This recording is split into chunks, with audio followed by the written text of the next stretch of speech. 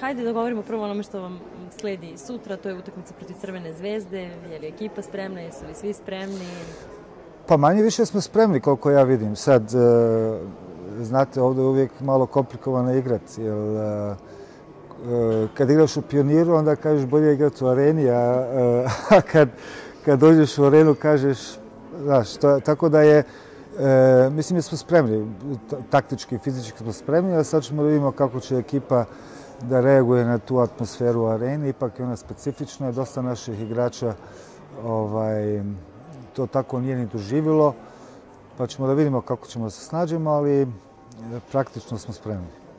E, je li rano uopšte procenjivati ovaj početak sezone i govoriti o tome jesu li rezultati dobri ili ne? Šta, o čemu se sada priča na početku sezone u klubu? O, samo se, samo, cijela koncentracija i fokus da se pomogne treneru i ekipi da se što brže uigraju.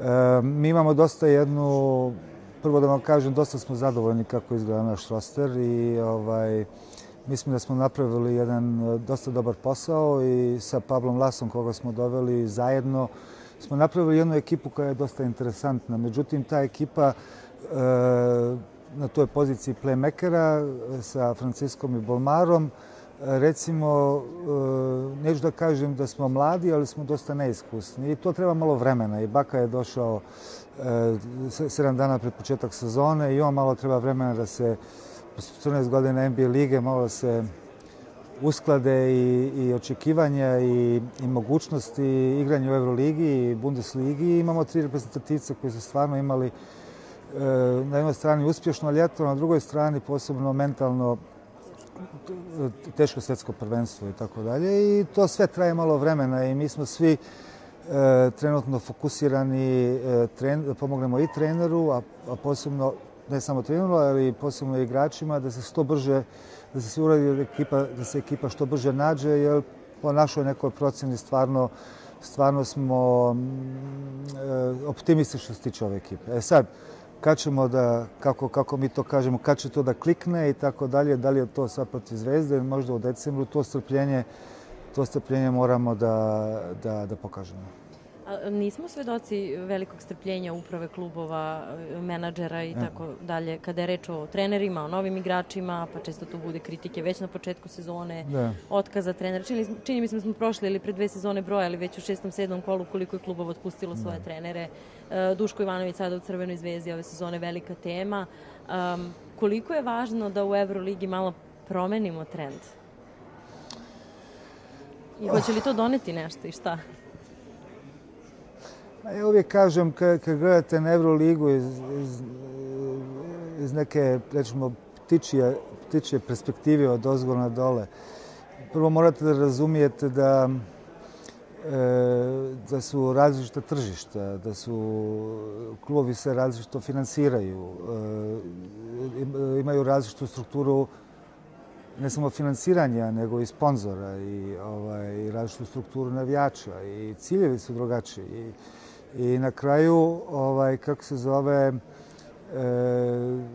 ta ekipa, e, ta ekipa i sigurno ta, i trener koji vodi tu ekipu, sad neovisno o, o kom klubu se priča, oni su ti koji su konstantno u fokusu. Međutim, mi u menadžmentu koji smo, ne smijemo da se sklanjamo iz tog fokusa i, i, i odgovornosti, mada, makar u našem klubu, ja mogu samo pričam o našem klubu i ja više... E, ja više gledam u neki proces e, šta treba da se uradi svakodnevno, neki rezultat. I rezultat uvijek dolazi na kraju sezona. Nikad ne može doći posle pet ili deset kola. A ovaj, e,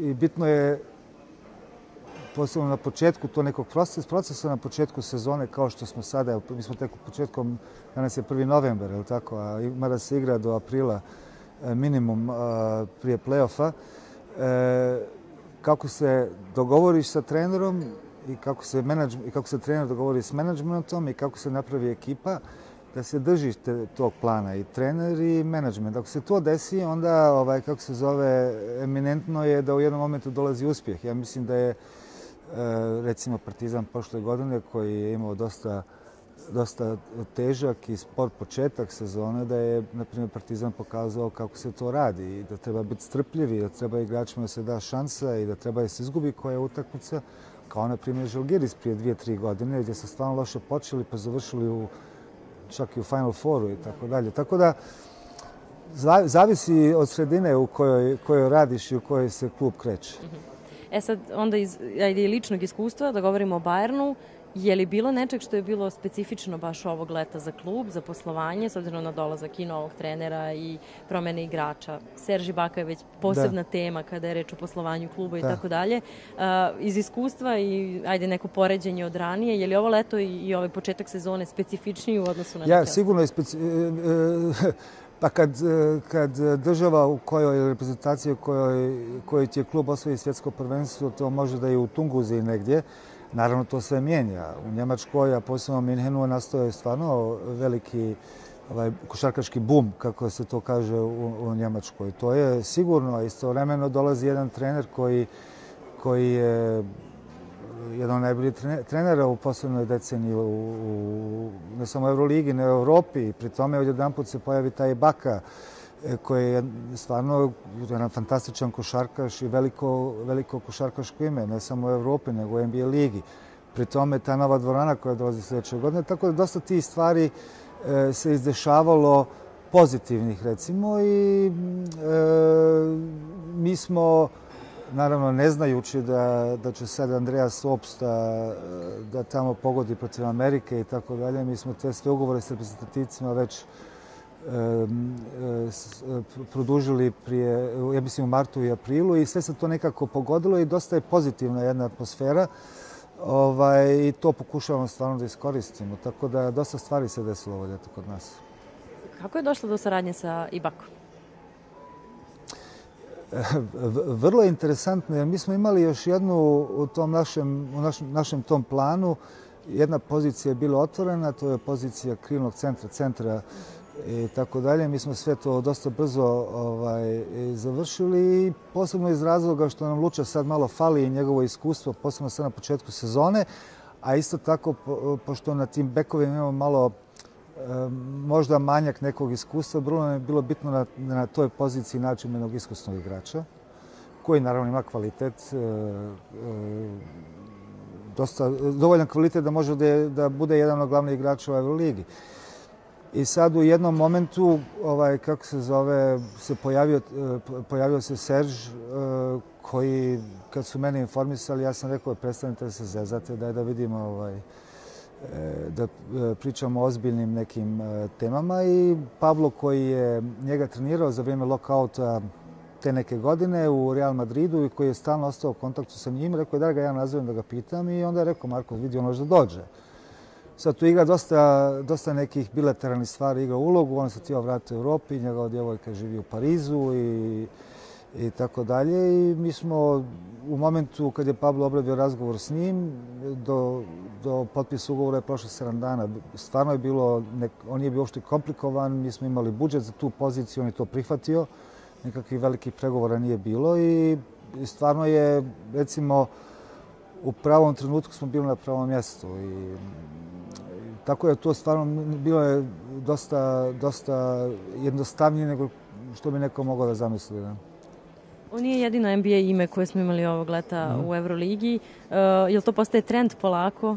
Jel će sve više biti NBA uticaja na Euroligu i u poslovnom pa smislu pa izgleda, igrača? Izgleda da posebno ovi iskusniji igrači e, se e, okreću malo prema Evropi. Sad bilo bi dobro da se ovi mlađi ovaj, okrenu. Ja mislim da je trener Obradović to vrlo dobro objasnio u ovaj kako se zove u nekim zadnjih izlaganja koje je imao jer eh, doći u Evropu i od prve utakmice koja je eh, koja, koja je stvarno ovaj kako se zove kao da je zadnja utakmica života eh, za sve igrače i ti Amerikanci koji dolaze iz NBA lige oni su malo navikli da polako počinje sezona pa tamo negdje All-Star break pa se oni ulaze u foru pre playoff se počne igrati, to je skroz drugačija kultura i za njih je vrlo komplikovano doći vamo i od početka svaku utakmicu. Oni se pitaju, pitaju se, dođu u Beograd pa 20.000, pitaju gdje sam ja došao i, i tako dalje. Tako da je to malo isto mentalitet, ali izgleda, izgleda da da je Euroliga, Euroliga napravila dobar posao od neke, nekog marketinga i, i u, Euro, u NBA ligi, očigledno se gledaju te utakmice i sad i, ta, i Baka i, um, i ti svi igrači i Walker, Kemba Walker i Jabari Parker i dosta njih koji su došli, oni su sigurno pratili to i mislim da je to da je to izuz, izuz, izuzetno pozitivno, ali vidjet ćemo kako će se to razvijati. A šta se u Bayernu konkretno promenilo, nevezano za ovu priču da je Nemačka svetski šampion? Da. Uh, ajde da krenemo i od nove dvorane, kako to teče i dok je stiglo, kako, kako Pa kod nas se ništa nije promijenilo, mi stavimo one šljemove na glavu, idemo u rudnik i radimo po cijeli dan. Znači, mi, kod nas se ništa nije promijenilo, ali istina je da sad paralelno ovaj, sa svim dešavanjima oko ekipe i tako je, sprema se otvaranje nove dvorane za, za prvu utakmicu Euroliga sljedeće godine. I to je jedan ogroman projekat. E, mislim da da, da je ta dvorana fenomenalna, da će biti bolje nego što, su, što smo mi očekivali. I to se paralelno sprema zato što ne možete vi očekivati da otvori se dvorana, dođe protivnik i, i, i i to je puno. Ipak mi živimo u futbolskoj zemlji i to mora dosta, dosta napora i posla da se, da se to sve pripremi, ali to izgleda dosta dobro i ovaj, i nadam se da će ekipa ove godine ovaj, da, da iznese, iznese ovaj, ovu sezonu kako treba u Euroligi i Bundesligi i da ćemo biti spremni za otvaranje nove dvorane. Možemo neke detalje o dvorani, kapacitet? Pa ništa, 12.000 12 dvorana je dvoranu gradi Red Bull. Mm -hmm. uh, mi smo zajedno napravili ugovor s njima. Uh, sljedeće godine ćemo odigrati uh, sigurno sve utakmice Eurolige u velikoj dvorani u tom SAP Gardenu. Paralelno smo potpisali, e, potpisali ugovor sa gradom Minhenom za BMW Park, koje je novo ime naše stare dvorane do 2030. I, ovaj, i postepeno nismo još definitivno odlučili kako, ali postepeno ćemo, sve utakmice da guramo preko e, prema SAP Gardenu i utakmice Bundeslige, a BMW Park ćemo da da aktiviramo kao novu event e, lokaciju u Minhenu i to je dosta jedan interesantan projekt. Uh mhm. -huh. Jel Minhen sada izvanično više nije samo futbol ili dalje jeste? Mi, mi, Minhen će uvijek biti futbal, ali stvarno, ovaj, kako se zove, e, e, razvila se velika ljubav prema košarci. Mi, mi, to, mi to vidimo i koliko članova se prijavljuje i koliko djece se prijavljuje sad posebno posle ovog ljeta za omladinske selekcije i nije, nije uh, košarka samo Bayern Minhen, ima tu dosta, dosta drugih manjih klubova koji investiraju u, u omladinske pogone i tako dalje i stvarno moram da kažem da sam udoš, uduševljen kako se to razvija. Uh mhm. -huh.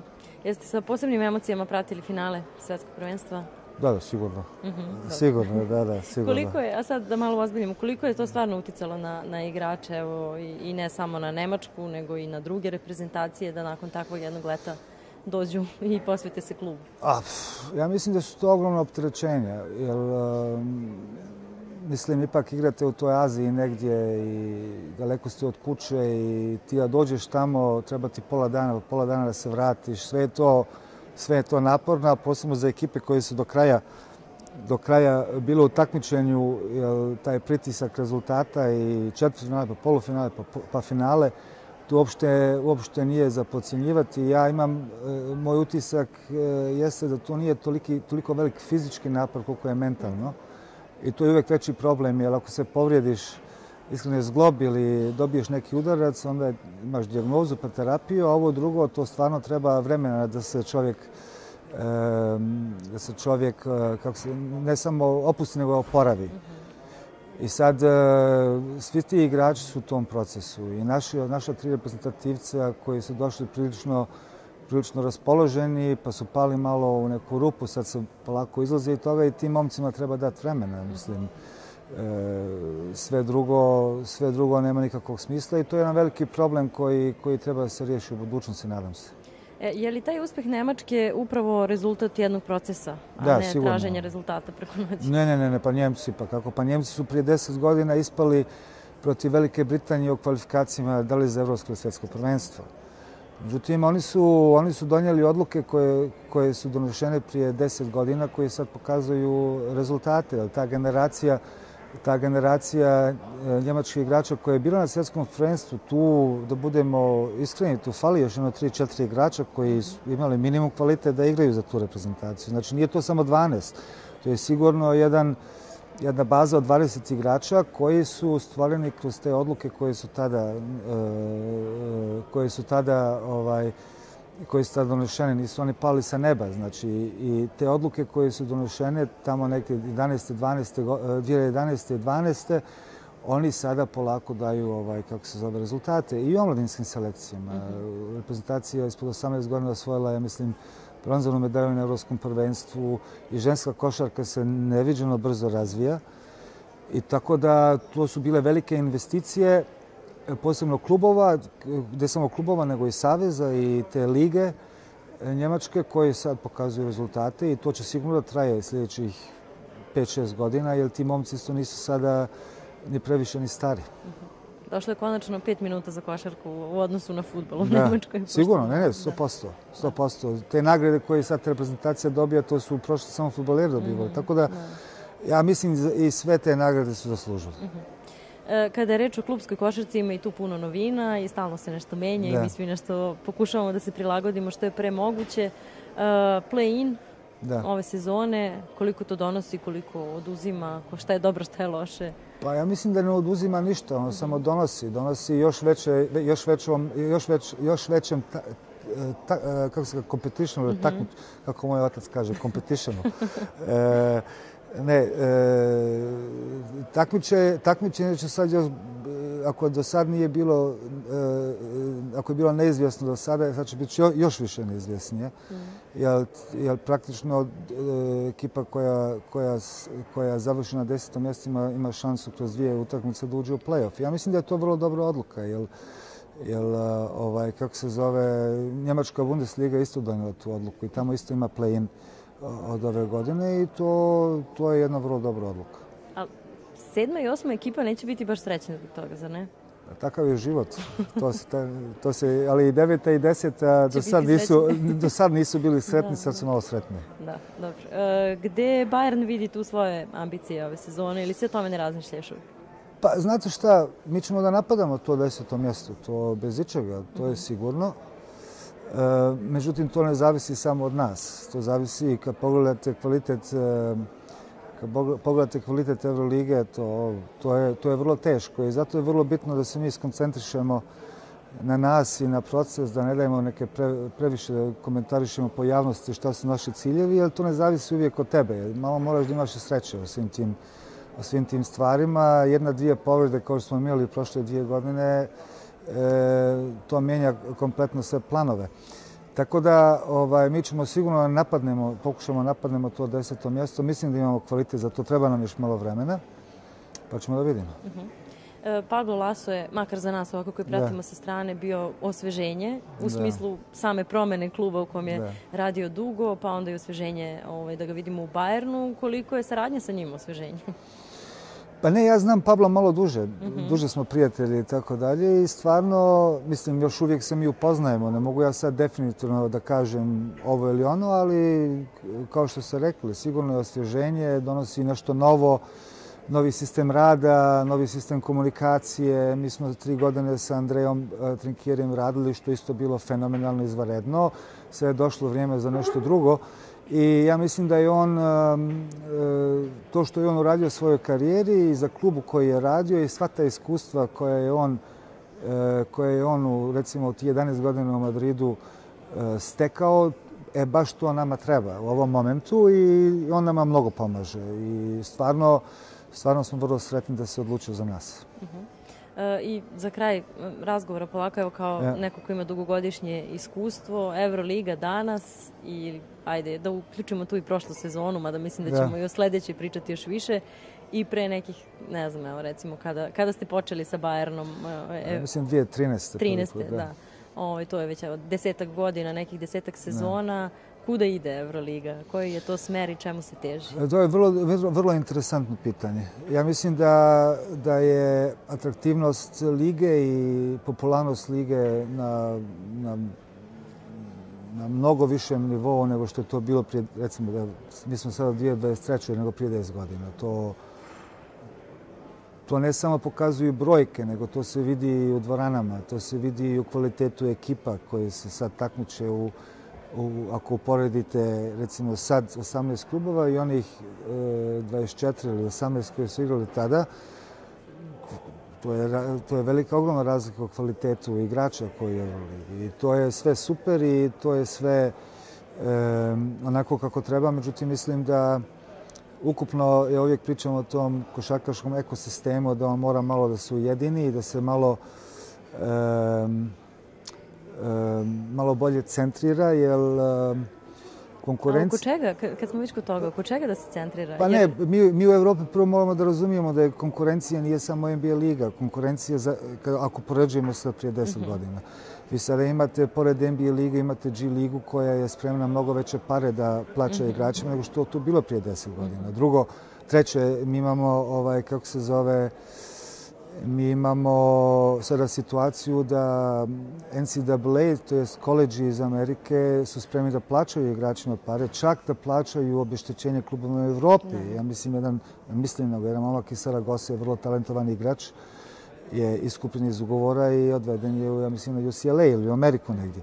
Znači, to prije deset godina nije postojilo. Drugo, mi kad okrenete glavu, damo malo prema istoku i ovaj, pogledate šta se dešava u Japanu, u Kini i onako. I ako možete sad zamisliti da nam se desi ono što nam se desilo što se desilo u futbalu sa Saudijskom Arabijom, onda se jedan put pojavi jedna zemlja koja u kratkom roku ne samo organizuje profesionalnu ligu, nego pokupi sve moguće igrače, praktično najbolje, najbolji igrače na planeti i stavio Saudijsku Arabiju. Možete misliti da se to desi u košarci. A je li bi tu ona priča o Dubaju promenila? Ne, nema to veze sa Dubajom, nego to ima jednostavno e, veze sa, sa svim ljudima e, koji vode, e, koje vode organizacije i lige u, u, u, u Evropi. To je taj ekosistem evropski, da oni moraju da razumiju da tu mora da se nađe zajedničko rješenje i da se nađe mjesto i za reprezentaciju, i za domaće lige, i za internacionalno takmičenje. Jer e, jedna stvar je, ne može da se, da se porekne, to je da, je, da su internacionalna takmičenja, na primjer kao Euroliga,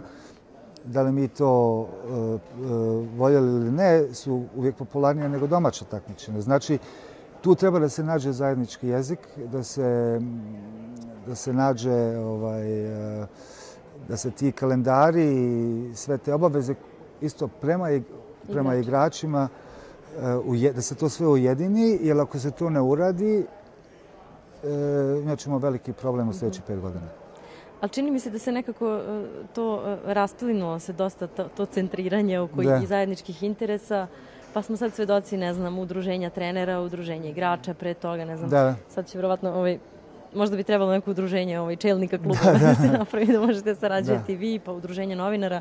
Je li to dobar put ili ne? ne ja, treba da ja, ja, ja iskreno mislim da sve te unije koje se organizuju, da li su to igrači ili su to treneri ili su to sudije, mislim da to kao prvo pozitivno. Uh Jer uvijek je bolje kad, kad sjedneš za sto da se dogovaraš s nekim, uvijek je bolje da, se da, da sjedneš da, da pregovaraš sa, sa reprezentantima jedne unije nego sa 500 njih i tako dalje. Ja mislim da, to, da je to, ovaj, kako se zove, da je to jedna pozitivna stvar. E, isto tako mislim da, ovaj, da to može biti samo pozitivno ako su jedini ciljevi svi, svi mhm. drugih.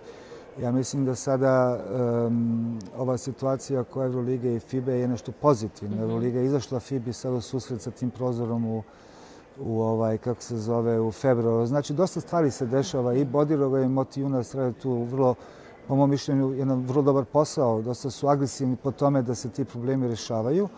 I to je počelo i to je najbitnije. Sad koliko će to da traje, da li šest mjeseci ili dvije godine, ja ne znam, ali to mora da se, to mora da se završi. Dobro, i sad stvarno za kraj, um, iz poslovnog ugla i iz ugla svakodnevnog funkcionisanja jednog kluba velikog, da li je uh, rezultatski uspešna sezona nužno i poslovno uspešna? Um, pa vidite, sve, sve zavisi u kom dijelu, u, u, u kojoj sredini radite, je tako? Znači, ipak, vidite, mi se ipak bavimo sportom i, i da ta ekipa pobjedi i osvoji titulu, to je, to je broj jedan, to je najvažnije. To nikakve dileme nema, ali mislim, e, e, kako je kažem, e, da sve to bude sad na našem jeziku mi fali riječ sustainable, to znači održivo. da održivo. E, u ovo doba u kojem se mi nalazimo i biznis mora da funkcioniše. Znači, sve mora bude, ti moraš da financiraš sve to što radiš. Da li je to ekipa, da li je to ljudi koji rade u klubu i tako dalje.